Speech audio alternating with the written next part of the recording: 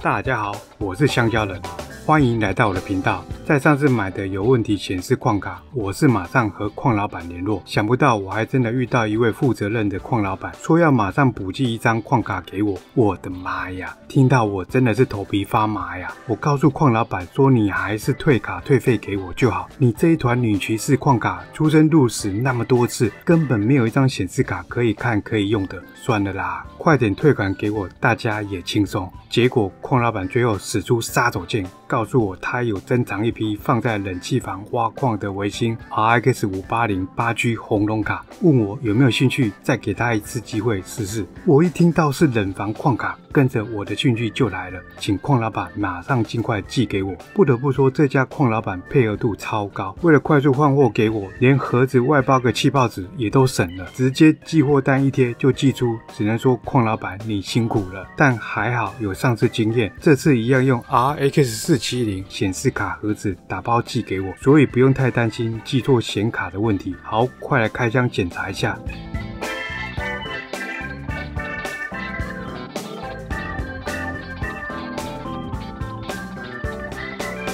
哦，原来这就是冷气房挖矿的显示卡品质啊！整体灰尘是少了许多，也干净一点。散热风扇还算顺滑，没有卡卡的感觉，但它还是逃不过挖矿卡的命运。整个散热铝鳍片都是有氧化和长白毛生锈现象。唉，这五年的老矿卡还能有多好的卖相呢？真的让人感到有点淡淡的哀伤啊！而在金手指插脚看起来也不错。完全没有生锈、长绿斑纹路问题，在背后的保护板也算完整，没有出现大量刮伤纹路。哇，这输出插槽挡板跟新的没两样，完全没有生锈纹路，也看不出有在加工处理过的痕迹。嗯，不错不错。再来就是这影像输出孔，看这完美挡板区输出孔，应该也是保存良好才对。我的妈呀，这也看起来太新了吧？感觉都没有用到，也没有生锈问题。那其他三个输出孔应该也差不多。是这样才对。嗯。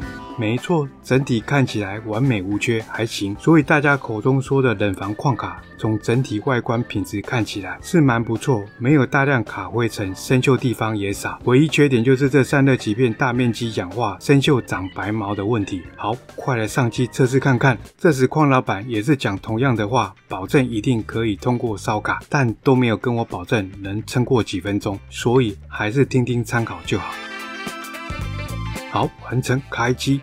嗯，还不错。这次显卡的散热风扇还蛮安静，没有叽叽叫问题。OK，进入开机程序。嗯，这开机时间也等太久了吧？到目前还没有出现画面。嗯，我又是哪里没有装好插好吗？把 HDMI 输出孔换插到另外一个孔试试看。OK。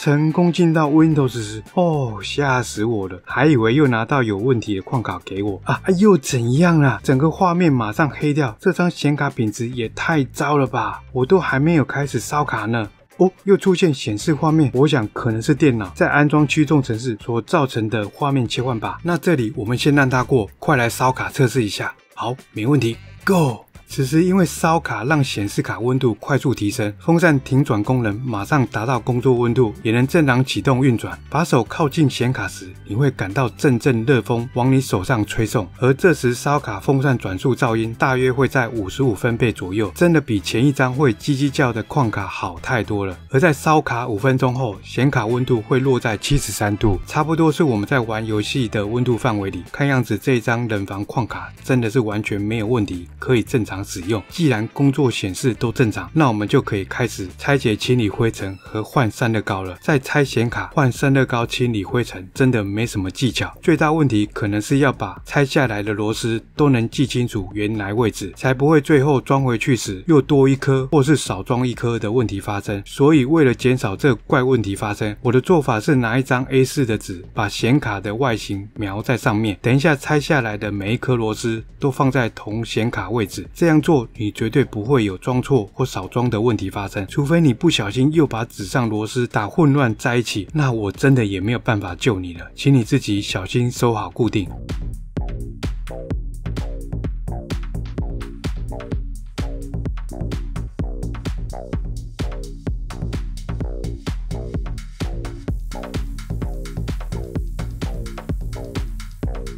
嗯这张保护背板异常的干净，看样子矿老板自己已经清理替换过散热膏喽。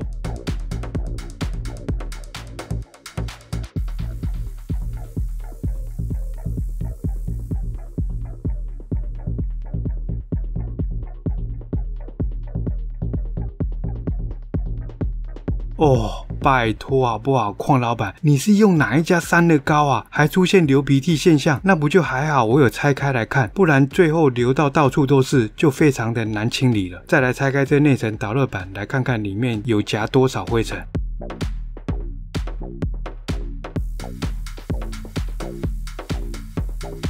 哇，整体看起来有保养过，灰尘有够少，才一点点，连机体上面的散热贴出油也清理好。嗯，这内层散热板的散热贴好像只替换记忆体局部地方，有两种不同新旧颜色散热贴在上面啊！不行呀，这灰色散热贴已经全部硬化，应该已经没有导热散热的功能，干脆等一下全部换掉也省事一点。再来是把散热风扇和铝鳍片分离。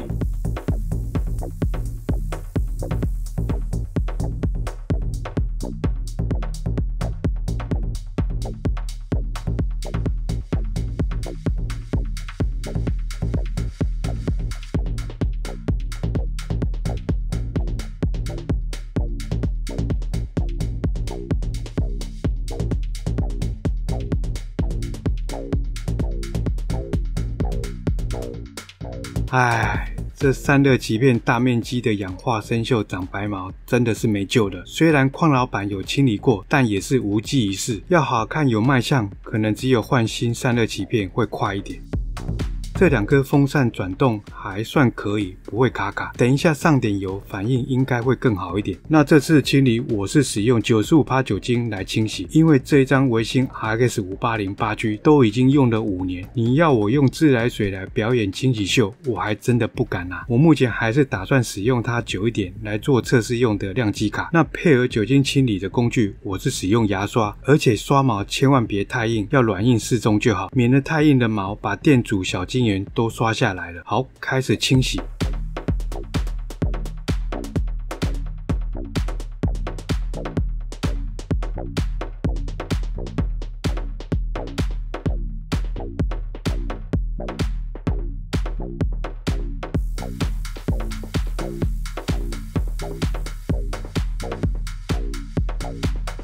好，这风扇清理也差不多了，先来上点油保养，让它转动更顺畅。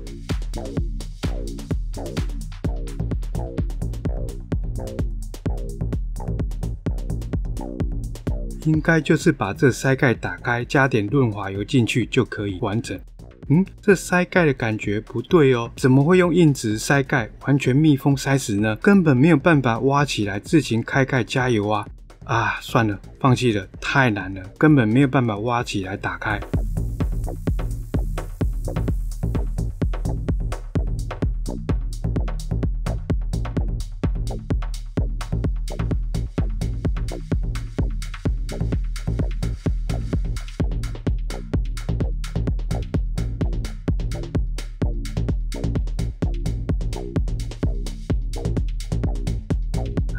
这散热鳍片我只能跟大家说抱歉了，生锈氧化到这种程度，能清多少就算多少，请多多见谅。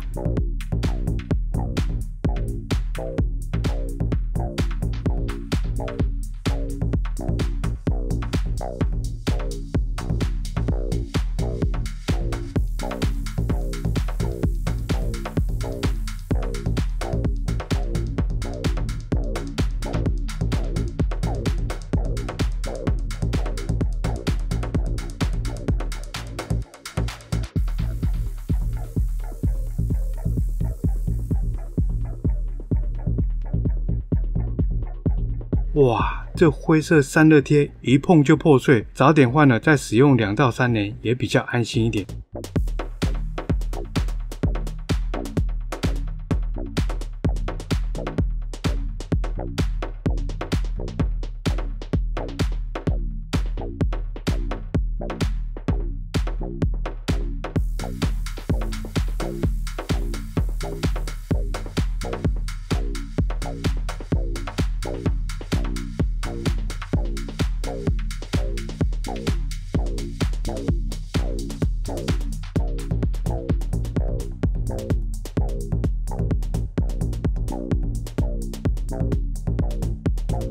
好，全部清理完成，现在把它组装回去。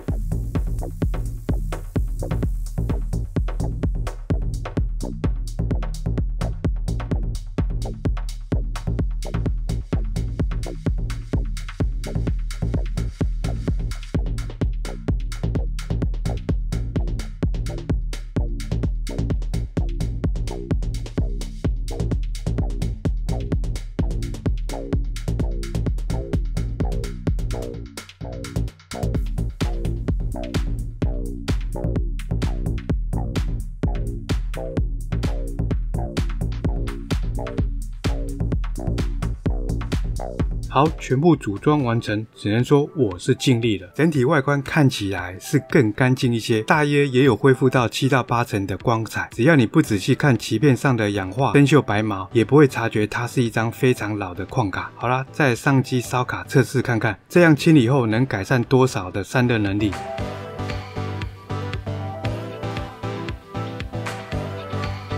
好，安装完成，开机。哦，没问题，一通电，显卡风扇就马上转动，但是它的开机进系统还是一样的慢哦。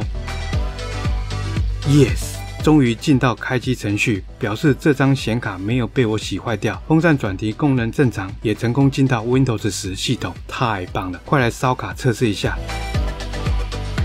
哦，在显卡温度提升后，停转的风扇也能自动转起来散热，不错不错，看样子都正常使用中。但也蛮奇怪了，这散热风扇没有办法开盖加润滑油，可是，在烧卡风扇噪音却是能降到五十分贝，比先前未清理又再少了五分贝，可见这样清理后的散热鳍片有提升不少散热解热能力，让风扇减少狂转风切噪音。而在烧卡前后比较。大约在一到三分钟内，清洗过的显卡可以再多降三到四度。可是过了三分钟后，就是这散热鳍片的最大压制能力了，两者都能狂升到七十三度左右维持着。看到这里，我是马上打开 YouTube 观看八 K 影片，想不到还能顺畅播放观看这八 K 影片品质，而且在清理后的 RX 五八零八 G 的显示卡温度才五十四度左右，也就是说这张维新 RX 五八零八 G 只要在正常工作下下使用都能表现很好的水准，但千万别看到这里就急着去充一张冷房矿卡回来。虽然使用上都没有什么问题，就是散热鳍片氧化生锈长白毛，让人看了心情不爽。而且只要一氧化生锈，它是一定会持续长白毛下去，不会停止。所以准备入手冷房矿卡，一定要问问自己有没有拆解清理灰尘能力，不然就是要入手还在保护内的冷房矿卡，可是它的价格也会跟着更贵，要花更多钱钱购入。也许直接送原厂处理拼一下，搞不好会帮你换一个没有氧化长白毛整新品散热鳍片给你，这样就会帮你在下次转手出售，可是大大的加分呐。所以要不要使用冷房挖矿的显示卡，就看你个人取舍了。那今天的影片就到这里，如果你有入手冷房矿卡要分享使用心得，都欢迎在下面留言告诉我，也请多多帮忙按赞和订阅，让我可以更快一点达到十万订阅奖牌。我是香蕉人。那我们下集影片见啦！所以影片到这里，